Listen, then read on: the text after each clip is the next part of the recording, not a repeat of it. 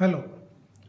In this video, we will understand the timing logic and the process of sampling and quantization, encoding and shift register. The idea behind time division multiplexing of two different signals we can understand by a frame structure. A frame consisting of 15 bit here in the system. Out of 15 bit one bit is used for the frame synchronization that is a transmit start. 7 bits are used for the digital bits of channel 0 sample and 7 bit for digital bits of channel 1 sample.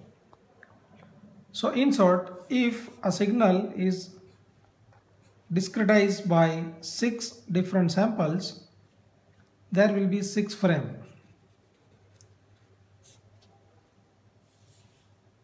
I have another signal which is also having 6 samples but at different time than the sample time of channel 1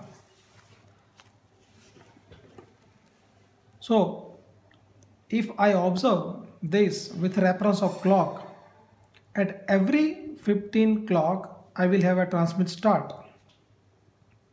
after transmit start, my sample will be taken for one channel and after 7 bit my sample will be taken for another channel. So we will see this scenario into our trainer kit.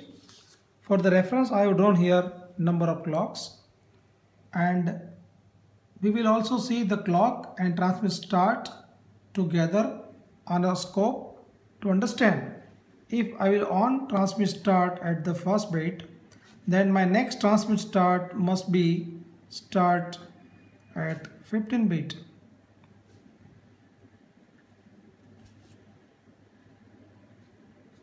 Section bit sorry because I need 14 bit in between. So my total frame is of 15 bit. So let us see I have connected this transmit clock to the one channel of scope and another transmit start to another channel of the scope. And here we can clearly see this is my transmit start which is active high and these are my clocks. So I can calculate once transmit start is happen with this clock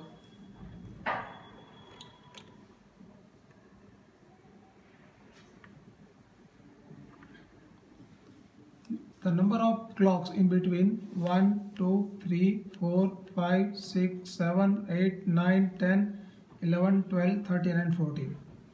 So in this space of 14 bit, the 7 bit will be transmitted for the channel 0 and 7 bit will be transmitted for channel 1. Similar practice we can see when we keep this switch onto the slow mode and we can see the blinking of clock and transmit start once the transmit start will blink, then there will be a 14 clock and again transmit start will blink. So we'll start to count along with this. Well, now 1, 2, 3, 4, 5, 6, 7, 8, 9, 10, 11, 12, 13, 14 and transmit start.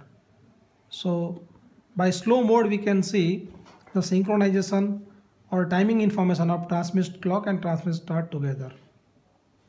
The next, when I keep switch on fast mode and what happened next, after transmit start, I would like to see there will be a sample has to be taken.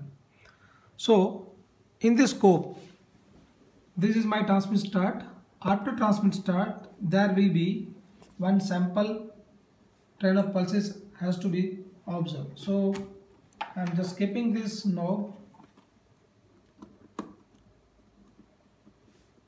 on channel 1 sample and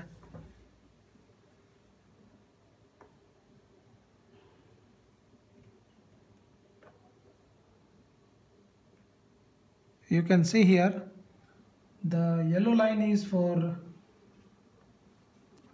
channel 1 sample and the green line is for transmit start so you can see here in the kit the channel 1 sample is active low That means the moment when my pulse goes down, the sample will be taken.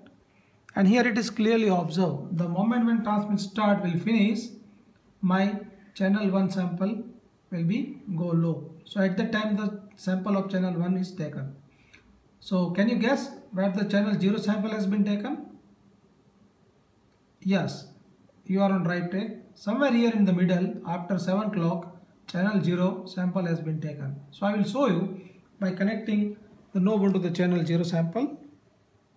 It is connected here. And now you can see this is a channel 0 sample trying pulse. And the both signal together you can see here channel 0 and channel 1 trend pulse. This moment channel 0 has been taken. This moment channel 1 has been taken so you might be having a question in your mind. What happened between these two time? Channel 0 sample and channel 1 sample.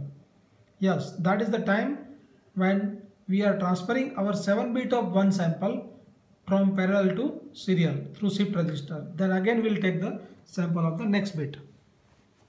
So this phenomena we can understand by our uh, visual frequency I will keep this now into the slow mode. And uh, you can see what happened when one sample will be taken channel 0 at that time start of conversion will be low because it is active low. And moment it will take very very short period of time it will give the end of conversion.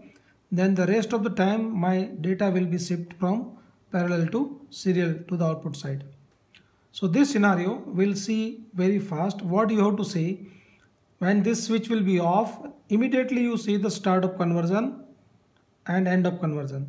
Both will be blink at the same time. End of conversion is active high and start of conversion is active low. Start of conversion becomes low. That means a to D converter has to start conversion and end of conversion will be high. That means it has finished its conversion. Then it will give command to the shift register. So when it becomes low that means now shift register has to move. And when it is become high that means movement is going on. So this fashion we have to see. You have to observe transmit start. Will start from this moment. Be careful.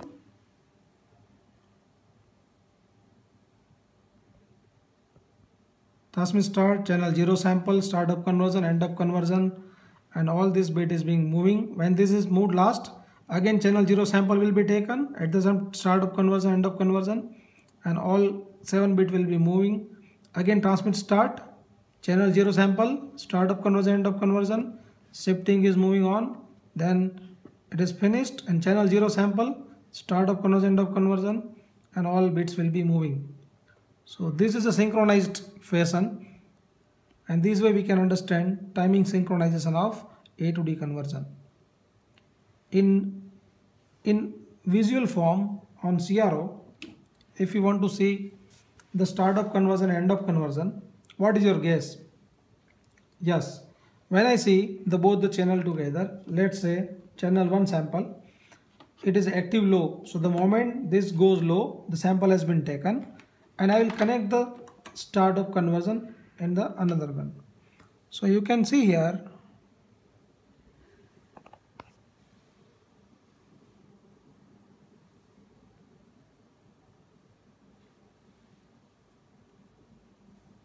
okay so start of conversion is active low. So the moment my channel 0 sample has been taken immediately after my start of conversion goes low that means A to D converter I see a start conversion. And when this is finished at this point my end of conversion becomes high. So I will keep now start of conversion and another channel is at end of conversion. So you can see here this is end of conversion time. And when it finished conversion it is active high. So during this time the conversion is going on. It becomes active high. That means now the shift register movement will be going on. So for the shift register after end of conversion if we see end of conversion and shift register together this is the motion.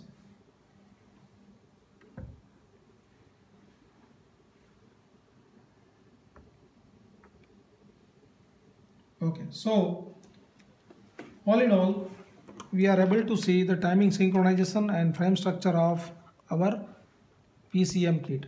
In next video, we will see how the transmission has been happened between transmitter and receiver in three modes using synchronous mode and asynchronous mode. Thank you.